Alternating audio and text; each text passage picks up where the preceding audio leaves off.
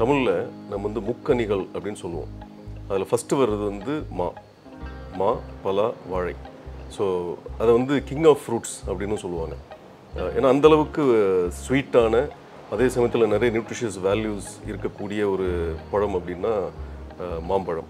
In fact இதில் வெரைட்டிஸை பற்றி பேசி பேசினோம்னா இந்தியாவில் மட்டும் ஆல்மோஸ்ட் ஒரு எஸ்டிமேட்டட் ஆயிரத்தி ஐநூறு வெரைட்டிஸ் இருக்குதுன்னு சொல்கிறாங்க தௌசண்ட் ஃபைவ் ஹண்ட்ரட் ஆமாம் இந்தியாவில் வந்து மாம்பழம் வந்து ஹையஸ்ட் ப்ரொடக்ஷன் யார் பண்ணுறா இந்த கேள்வி கேட்பீங்கன்னு எனக்கு தோணுச்சு. அதனால் ஏற்கனவே அந்த லிஸ்ட் நான் எடுத்து வச்சுருந்தேன்.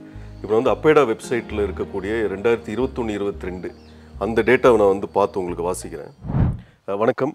பெஞ்சமின் ஃபார்மகனோட ஃபவுண்டர் இன்றைக்கி வந்து நம்ம ஒரு ஒரு நல்ல லொக்கேஷனில் இருக்கிறோம். இது வந்து குண்டுலுப்பேட் பக்கத்தில் இருக்கக்கூடிய ஒரு கிராமம். கர்நாடகா மாநிலத்தை சேர்ந்தது. இதில் பின்னால் பார்த்தீங்கன்னா ஒரு சின்ன மலைக்குன்று. அதுக்கு பின்னால் பந்திப்பூர் டைகர் ரிசர்வ் ஆரம்பிக்குது. அது இன்னும் கொஞ்சம் தாண்டி போனீங்கன்னா முதுமலை ஃபாரஸ்ட் ஆரம்பிக்கக்கூடிய இடம். அது அந்த மலை அடிவாரத்தில் நம்ம இருக்கிறோம். இது வந்து ஒரு அஞ்சு ஏக்கர் ஃபார்ம் அதில் கிட்டத்தட்ட ஒரு நாலு ஏக்கர் வந்து மூணு வெரைட்டிஸ் ஆஃப் மாங்காய் யூஸ் பண்ணியிருக்கிறாங்க. அல்ஃபோன்சோ அப்புறம் கேசர் அப்புறம் இமா பசந்த். இது மூணு ஆல்மோஸ்ட் ஈக்குவல் ரேஷியோவில் பண்ணியிருக்கிறாங்க. இந்த பிளான்ட்டெல்லாம் பார்த்தீங்கன்னா ஒரு பத்து மாதம் ஆன கிராப்பு ரொம்ப அழகாக வளர்ந்துருக்குது. பத்து மாதத்துக்கு இந்த க்ரோத் அப்படிங்கிறது ரொம்ப பிரமாதமான க்ரோத்துன்னு தான் சொல்லணும். ஸோ இதில் பார்த்தீங்கன்னா ரைஸ்ட் பெட் ஃபார்ம் பண்ணியிருக்கிறாங்க பொதுவாக அந்த ரைஸ்ட் பெட் அப்படிங்கிற கான்செப்ட் வந்து மகாராஷ்டிராவில் அந்த பொமக்ரனேட் போடுறவங்கலாம் பண்ணுவாங்க. ஆல்மோஸ்ட் ஒரு மீட்டர் ஹைட்டுக்கெல்லாம் பெட் ஃபார்ம் பண்ணியிருப்பாங்க இந்த பெட்டும் பார்க்கும்போது இனிஷியலாக வந்து ஐ திங்க் ஒரு ரெண்டு அடிக்கு எடுத்திருப்பாங்கன்னு நினைக்கிறேன். அதுக்கப்புறம் மழை பெஞ்சு பெஞ்சு கொஞ்சம் ஃபில்லாக இருக்குது ஸோ இந்த மாதிரி ரைஸ்ட் பெட்டில் பண்ணும்போது அந்த இனிஷியல் ரூட் பெனிட்ரேஷன் வந்து ரொம்ப ஃபாஸ்ட்டாக நடக்கும். அது ஒரு முக்கியமான ரீசன் இந்த பிளா இந்த பிளான்ஸ்லாம் வந்து பத்தே மாதத்தில் இவ்வளோ நல்லா வளர்ந்துருக்கிறதுக்கு அது ஒரு முக்கியமான ரீசன் அதுக்கப்புறம் இந்த ஃபார்ம் நம்ம நம்மளுடைய பெரும்பாலான ஃபார்ம்ஸில் வந்து மாய்ச்சரை மெஷர் பண்ணி அந்த ஆர்டிஃபிஷியல் இன்டெலிஜென்ஸ் மூலமாக எப்போ அந்த சாயில் ட்ரை ஆக போகுது அப்படிங்கிறத ப்ரெடிக்ட் பண்ணி அப்போ வந்து எவ்வளோ நேரம் எப்போ இரிகேட் பண்ணணுங்கிறதையும் ப்ரெடிக்ட் பண்ணி இரிகேட் பண்ணுற அதே சிஸ்டம் தான் இங்கே யூஸ் பண்ணியிருக்கிறோம். அதனால் ஒரு பக்கம் இந்த ரைஸ்டு பெட் இன்னொரு பக்கம் அந்த மண் நான் நான் வந்து யூஸ்வலாக ஏர் வாட்டர் பேலன்ஸ் அப்படிங்கிற ஒரு டெர்மினாலஜி யூஸ் பண்ணுவேன். அந்த ஏர் வாட்டர் பேலன்ஸை பர்ஃபெக்டாக மெயின்டைன் பண்ணுறதுனாலையும் இந்த ரைஸ்ட் பெட் இந்த அளவுக்கு போத் உயரம் அண்ட் அகலம் இவ்வளோ அருமையாக பண்ணியிருக்கிறதுனாலையும் இந்த வளர்ச்சி வந்து இந்த அளவுக்கு நல்லா வந்திருக்குது. ஸோ இந்த ரைஸ்ட் பெட்னால் எப்படி ரூட்ஸ் வந்து ரொம்ப ஃப்ரீயாக மூவ் ஆகுது எவ்வளோ நல்லா வளருது அப்படிங்கிறது ரொம்ப டீட்டெயிலாக இன்னொரு வீடியோ வந்து இதுக்கு முன்னாடி நம்ம எடுத்து போட்டிருந்தோம். அந்த வீடியோ டிஸ்கிரிப்ஷன் பாக்ஸில் இருக்குது நீங்கள் கிளிக் பண்ணியும் பார்த்துக்கலாம்.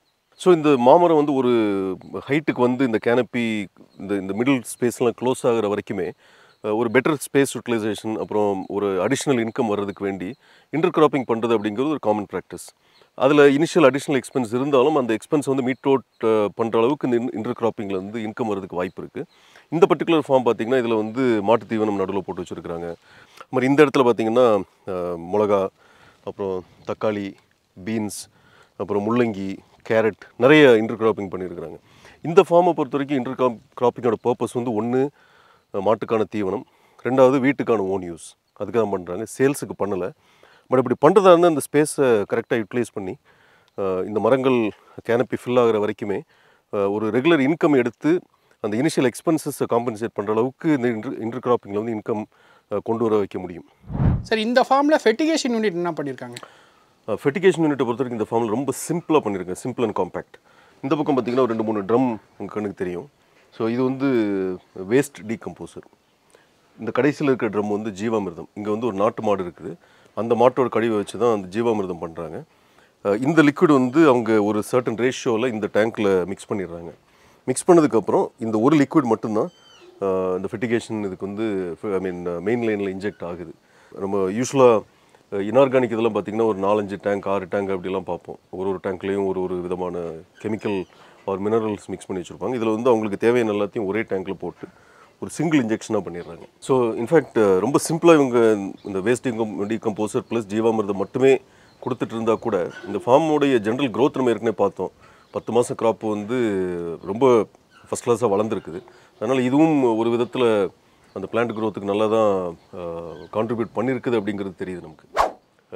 காற்று வந்து கிட்டத்தட்ட புயல் அடிக்கிற மாதிரி காற்று அடிக்குது. வெளியே நின்று பேசவே முடியல. அதனால் இங்கே இருக்கிற இந்த மாடர்ன் கவுஷெட்டுக்குள்ளே வந்து நின்று பேசலாம்னு நினைக்கிறோம். சார் மாம்பழ வெரைட்டியில் இந்தியாவிலே டாப் மோஸ்ட் வெரைட்டிகள் இது அதே மாதிரி எதுக்கு வந்து மார்க்கெட் ரொம்ப ஜாஸ்தி இருக்குங்க? சரி டாப் மோஸ்ட் அப்படின்னா நம்ம மைண்டுக்கு டக்குன்னு வருது வந்து அல்ஃபோன்ஸோ ஏன்னா அதோடைய கீப்பிங் குவாலிட்டி டேஸ்ட்டு ஆல்மோஸ்ட் ரொம்ப சாஃப்டான பயங்கரமான ஸ்வீட்டான ஒரு பழம் இது ப்ளஸ் இதுக்கு அந்த எக்ஸ்போர்ட் மார்க்கெட்டும் நல்லா இருக்குது. ஆல்மோஸ்ட் uh, எல்லா இடமும் அந்த அவைலபிலிட்டி பெட்டராக இப்போ வர ஆரம்பிச்சிருக்குது. இன்ஃபேக்ட் நீங்கள் ஒரு பத்து வருஷத்துக்கு முன்னாடி பார்த்தீங்கன்னா அந்த அல்ஃபோன்ஸை வந்து டப்பாவில் பேக் பண்ணி ஷிப் பண்ணிட்டு இருந்தாங்க. ஈவன் நம்ம தமிழ்நாட்டுக்கு வரும்போது கூட ஆர் பெங்களூர் எங்கே போனீங்கனாலும் ஒரு அட்டைப்பட்டியில் பேக் பண்ணி அழகாக அடுக்கி வச்சு கொண்டு வந்துருந்தாங்க இப்போ தான் வந்து கொஞ்சம் கிரேட்லலாம் வர ஆரம்பிச்சிருக்குது. ஸோ இது வந்து மோஸ்ட் பாப்புலர் அப்படின்னு சொல்லலாம். அதுக்கு அடுத்தபடியாக பார்த்தீங்கன்னா இன் டர்ம்ஸ் ஆஃப் வால்யூம் உங்களுக்கு ஜென்ரலாக நிறைய இருக்கிறது வந்து பங்கனப்பள்ளி. அதான் வந்து நிறைய எல்லா இடத்துலையும் பார்க்க முடியும். அப்புறம் இமா பசந்த் வந்து இன்னொரு ரொம்ப popular sweet variety less fibrous plus இது வந்து ஒரு லெஸ் ஈல்டிங் வெரைட்டி அதனால் அதோட காஸ்ட் வந்து ஜென்ரலாகவே கொஞ்சம் ஜாஸ்தி இருக்கும். அப்புறம் நம்ம ஊர் லோக்கல் பார்த்தீங்கன்னா இந்த மல்கோவா நீலம் இந்த மாதிரியான வெரைட்டிஸ் இருக்குது ஸோ இன்ஃபேக்ட் இதில் வெரைட்டிஸை பற்றி பேசி பேசினோம்னா இந்தியாவில் மட்டும் ஆல்மோஸ்ட் ஒரு எஸ்டிமேட்டட் ஆயிரத்தி ஐநூறு வெரைட்டிஸ் இருக்குதுன்னு சொல்கிறாங்க தௌசண்ட் ஃபைவ் ஹண்ட்ரட் ஆமாம் தமிழில் நம்ம வந்து முக்கணிகள் அப்படின்னு சொல்லுவோம். அதில் ஃபஸ்ட்டு வர்றது வந்து மா மா பலா வாழை. ஸோ அதை வந்து கிங் ஆஃப் ஃப்ரூட்ஸ் அப்படின்னு சொல்லுவாங்க. ஏன்னா அந்த அளவுக்கு ஸ்வீட்டான அதே சமயத்தில் நிறைய நியூட்ரிஷியஸ் வேல்யூஸ் இருக்கக்கூடிய ஒரு பழம் அப்படின்னா மாம்பழம். என்ன மாதிரி மண் தன்மையில நல்லா வளருங்க?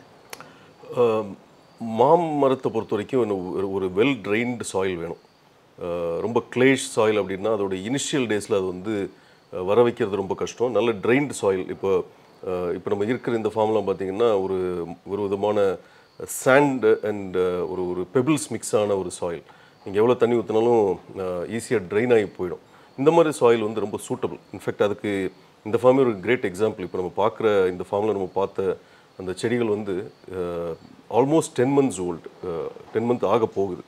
ஸோ டென் மந்த்ஸில் இந்த அளவுக்கு வளர்ச்சி வந்திருக்குது அப்படின்னா அந்த லூஸான soil drain well drained soil தான். க்ளே சாயிலையும் வரும். க்ளே சாயிலை பொறுத்த வரைக்கும் அதோட இனிஷியல் ஆப்ஸ்டியூட் வந்து கொஞ்சம் ஸ்லோவாக இருக்கும். ஒரு வேரெல்லாம் நல்லா எஸ்டாப்ளிஷ் ஆனதுக்கு அப்புறமா இன் டர்ம்ஸ் ஆஃப் ரிசல்ட் நல்லா தான் இருக்கும். பட் அந்த இனிஷியலாக அதை வந்து கரெக்டாக அந்த ரூட் எஸ்டாப்ளிஷ் பண்ணி கொண்டு வர்றது அப்படிங்கிறது கொஞ்சம் சேலஞ்சிங்கான விஷயம். என்ன மாதிரியான பிஹெச் கண்டென்ட்லாம் நல்லா வளருங்க? மேங்கோ பொறுத்த வரைக்கும் ஒரு நியூட்ரல் பிஹெச் லவிங் பிளான்ட் அதாவது செவன் ப்ளஸ் ஆர் மைனஸ் ஒரு point five six point five to seven point five வந்து நல்ல ரேஞ்சு ஒரு சில வெரைட்டிஸ் வந்து அந்த டாலரன்ஸ் பெட்டராக இருக்கும். உதாரணத்துக்கு அல்ஃபோன்ஸ் எடுத்துக்கிட்டிங்கன்னா ஆல்மோஸ்ட் வந்து five point five to close to eight theoretically five point ஃபைவ்லேருந்து செவன் பாயிண்ட் எயிட் வரைக்கும் அதோட ரேஞ்ச் அப்படின்னு சொல்லுவாங்க. So different varieties different pH ரேஞ்சில் இருந்தாலும் பை அண்ட் லார்ஜ் வந்து ம- மாங்காவை பொறுத்த வரைக்கும் நியூட்ரல் செவன் பிஹெச் வந்து ஐடியல் ஸோ இந்த ஃபார்மில் நிறைய வெரைட்டிஸ் போட்டிருக்கிறாங்க. ஈல்டு எப்படி இருக்கும்? வெரைட்டி வெரைட்டி வந்து ஈல்டு மாறுமா? நம்ம ஊரில் ஒரு ஏக்கருக்கு எவ்வளோ வந்து மேக்ஸிமம் ஈல்டு எடுக்க முடியும்? அதுக்கப்புறம் டேட்டா கம்பேரிசன் மித்த நாடுகளுக்கும் நம்ம ஊர்களுக்கும் டேட்டா கம்பேரிசன் சொல்ல முடியுங்களா சார் ஸோ ஓகே ஸ்பேஸிங்லேருந்து ஆரம்பிச்சிடலாம். ஒரு ஏக்கருக்கு எத்தனை மரம் அப்படின்னு பார்த்தீங்கன்னா ட்ரெடிஷ்னலாக அறுபது மரம்ன்றது ஒரு ஸ்டாண்டர்டாக இருந்தது. அதுக்கப்புறம் இந்த அறுபதுலேருந்து தொண்ணூறு அப்படின்னு மெயின்டைன் பண்ணிட்டு இருந்தாங்க ஒரு ஏக்கருக்கு. அதுக்கப்புறம் இந்த ஹை டென்சிட்டி அப்படிங்கிற கான்செப்ட் வந்தது. ஒரு இரநூறுலேருந்து முந்நூறு வரைக்கும் மெயின்டைன் பண்ண ஆரம்பிச்சாங்க. ஜென்ரல் நீங்கள் வந்து ஒரு கோவா மாதிரி plant பார்த்தீங்கன்னா அதுக்கு வந்து ஹை டென்சிட்டினா இவ்வளோ ஸ்பேசிங் அப்படின்ற ஒரு ஆல்மோஸ்ட் ஸ்டாண்டர்டான நாம் மாதிரி இருக்குது. பட் அந்த மேங்கோவை பொறுத்த வரைக்கும் டிஃப்ரெண்ட் ஸ்பேசிங்கில் நிறைய எக்ஸ்பெரிமெண்ட்ஸ் பண்ணியிருக்கிறாங்க. அதில் அந்த அல்ட்ரா ஹை டென்சிட்டி அப்படிங்கிறது ஒரு ஏக்கருக்கு ஆயிரத்தி ஐநூறு பிளான்ட் வரைக்குமே கூட வச்சுருக்கிறாங்க.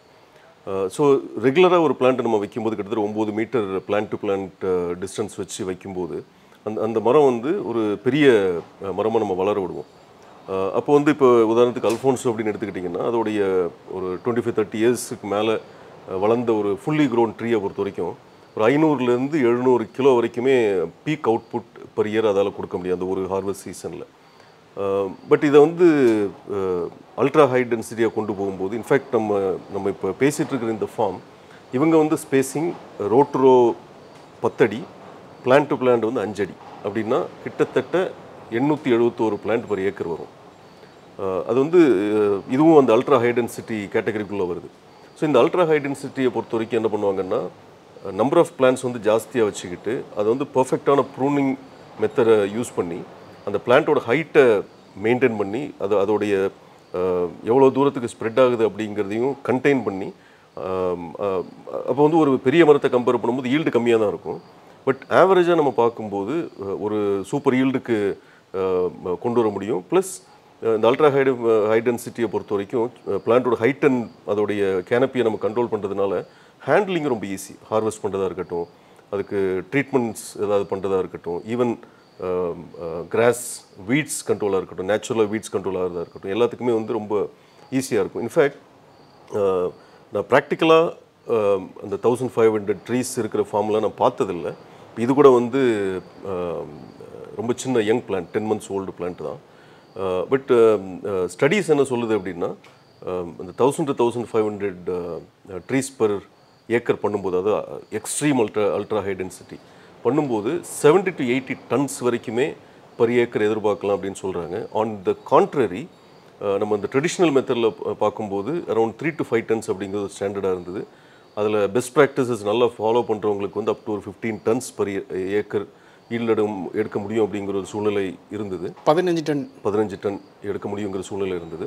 பட் இந்த எக்ஸ்ட்ரீம் அல்ட்ரா ஹை டென்சிட்டிக்கு போகும்போது செவன்ட்டி டு எயிட்டி டன்ஸ் எழுபதுலேருந்து எண்பது டன்ஸ் கூட ஈல்டு வரும் அப்படின்னு சொல்கிறாங்க பட் இது வந்து டிஸ்க்ளைமர் என்னென்னா நான் நேரில் பார்த்ததில்ல. இது வந்து இருக்கிற லிட்டரேச்சரை வச்சு நான் சொல்கிற பாயிண்ட் பட் இந்த எக்ஸ்ட்ரீம் ஹை டென்சிட்டி போனால் பூச்சி தாக்குதல் வந்து ஜாஸ்தி இருக்கிறதுக்கு வாய்ப்பு இருக்குதுங்களா?